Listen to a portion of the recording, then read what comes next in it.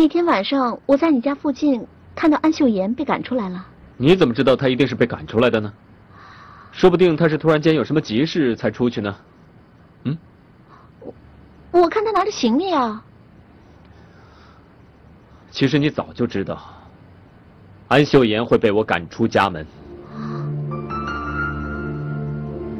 但你那天看到她以后又不太确定，于是呢，你就叫你那个小燕打电话去我家，想再次确认一下。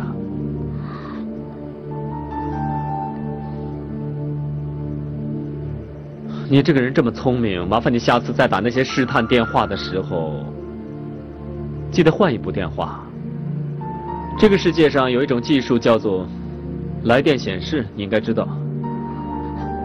我去做早饭了。那些照片也是你干的吧？你告诉我，你为什么要这么做？嗯？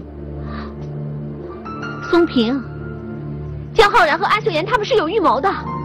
我怀疑这里面是个骗局，这个骗局主谋就是李美芝，那个女人啊。她明明知道你爱的人是我，故意让江浩然勾引我，然后再让安秀妍去勾引你。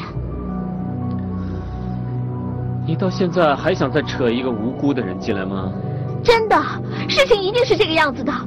你想，他们两个人分别接近你和我，这能是偶然吗？那个女人为了拆散我们，故意雇两个骗子来布这个局。还有那个安秀妍，她不是你想象中的那么单纯。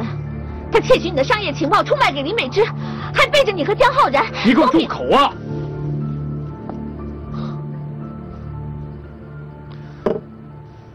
如果安秀妍和林美芝串通一气的话，现在天马集团早就是林美芝的了。什么？你怎么这么说呀？你这个人永远都只会自作聪明，永远只会陷害别人。